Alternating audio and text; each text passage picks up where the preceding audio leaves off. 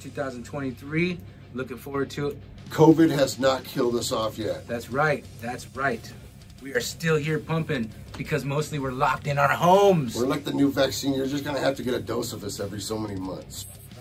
We're gonna give you all a booster.